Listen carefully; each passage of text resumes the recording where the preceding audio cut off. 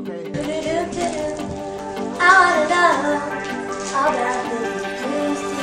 wanna know about the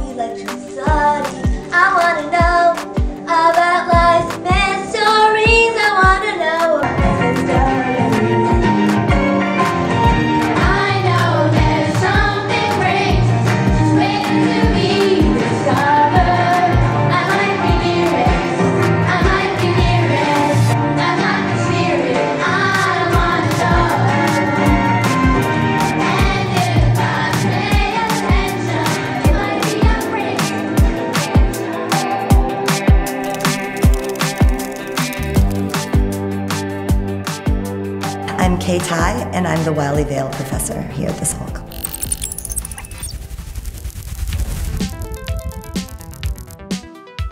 I ranked everyone in my family in order of smartness, and I ranked my dad below the dog, which my mom thought was really funny, and she would tell everyone this. But um, I uh, ranked my string theorist dad underneath the dog in terms of intelligence, just because he wouldn't respond to stimuli sometimes. He'd be so locked in, and, and the dog would come. So I, I was like, I don't know, dad, could be like right here. So that was um, uh, how a kid views their parents when they're scientists. Didn't understand it at all. I grew up in Ithaca, New York, which is a rural college town. Both of my parents were faculty at Cornell. My mom is a biochemist studying DNA replication, and my dad is a string theorist studying inflationary universe. My parents actually met on the boat coming from Hong Kong to the United States to go to college. And I think they both grew up in the Cultural Revolution where as, as children they learned that whatever you have, whatever possessions you might have, money, titles, businesses, family members, even, you know, can be stripped away from you overnight. And the only thing that nobody can ever take away from you is your education. It's what you know and what you can do, your skills, your knowledge, your understanding. And those are the things that are worth investing in. I loved books. I, when I was young, younger, like you know, eight, nine, ten, I had some insomnia and I would stay up really like reading, reading so many books. Then when I, when in high school, I got really into sports and I liked soccer and lacrosse, ran a little bit of track. I think much of my youth, I was just undiagnosed ADHD. And so sports, sports, we're gonna put you into sports. And um, I had a lot of other interests too, but uh, sitting still is a challenge for me. And it's always been that way. Um, so as an adult, where sitting still is part of my job, I have to get my energy out. I've got a lot of hobbies. Um, I surf every day.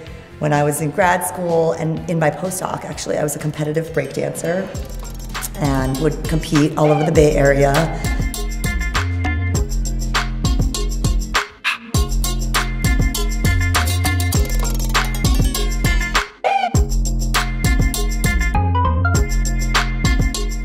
The message I got from my parents was, you can do anything. Actually, the message I got from my dad was, okay, you're not smart enough for string theory. you should try something else, um, which I'm really glad I did because um, I think I'm much happier being a neuroscientist than I would have been as a string theorist. My parents, they got married in the MIT chapel. And so I think my dad was so surprised um, that I got into MIT that he like brought me the envelope or whatever and he cried, which is literally the first time, maybe the only time I've seen my dad cry. So I was excited. MIT is in a city that's not in Ithaca. I'm getting out of Ithaca, I'm see a city. That's what I was thinking about. I um, went to public high school in Ithaca, New York. Then I went straight to college at MIT. Graduated and had this existential crisis about what I was gonna do with my life, took a gap year backpacked around Australia, lived in a tent, became a yoga instructor, climbing instructor, exploring, just, just exploring my purpose in life. Um, ended up going back to grad school, feeling kind of still pretty lost. I just didn't really know what else to do. And then got locked in. Then I went, did a, a short postdoc at Stanford. So in 2012, um, I started my own lab at MIT, but as a faculty member, it was a different experience than as an undergrad, and I definitely felt a lot of pressure, very competitive. I, I, had this idea about social homeostasis, and I shared it with one of my colleagues, and they told me it was career suicide. which later became like my Pioneer Award, my HHM, you know, became a huge thing that launched really launched my career so i'm glad i didn't listen to them but i think this really competitive mindset where everyone's doing kind of similar stuff is um, amazing for taking it really far in a certain direction but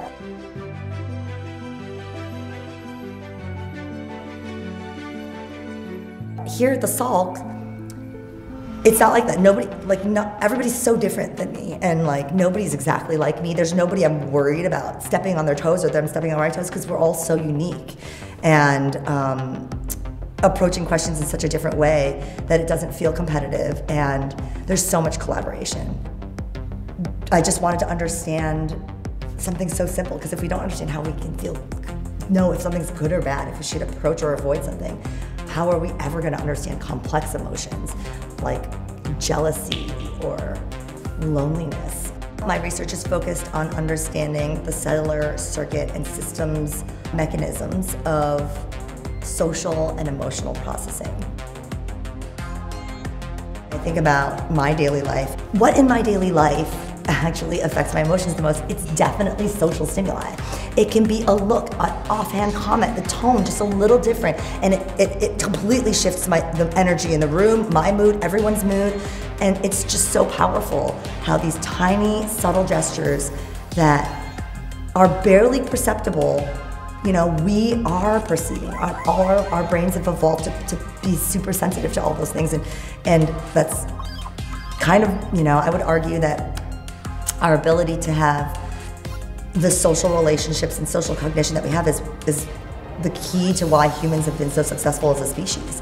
Our ability to form social groups and have social structures and keep keep those things all all straight is a huge part of why we rule this planet. My ultimate goal for the research that I'm doing would be to revolutionize mental health treatment. The work that we do, just showing that psychological concept, psychiatric disease is physical disease. Mental health is physical health. It's because mental health is your brain. Your brain is physical. It is cells. It is synapses. I think would change the stigma that we have for mental health disorders that we have today. If, if we could revolutionize mental health treatment and solve this problem, we would be improving the quality of life for pretty much everyone. And so to me, it's like there's not a bigger problem to solve. Beautiful barbecue sauce. Okay. Look at me. Hi. Over there.